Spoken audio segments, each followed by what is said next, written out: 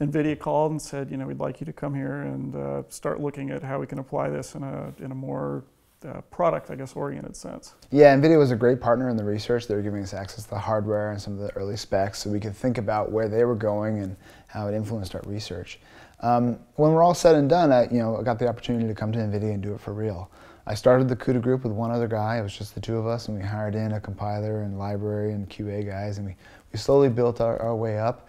Um, this time, really taking the learnings from Brook and starting over a little bit. Uh, also influencing some of the hardware design, the hardware architecture. You know, what could we do to generalize the architecture just a little bit, mm -hmm. to make it a little easier, to eliminate those roadblocks that we discovered with Brook, and then eventually come out with our sort of CUDA 1.0. So how long did it take from the day you got there and you started on this project to the time it launched?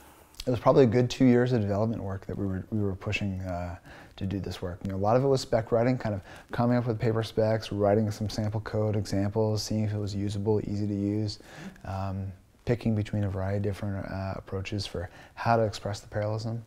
Uh, eventually, we latched on to a very basic idea of threading because we knew that most you know, C and C++ programmers understood the concept of a thread, uh, at least at the simplest level. If we could latch onto that, we could actually present a program model that was familiar.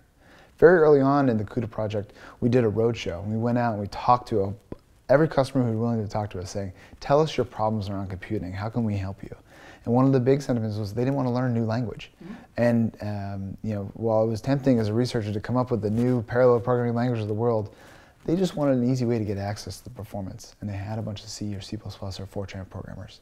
So when we set out to start CUDA, we made sure it's not a new language.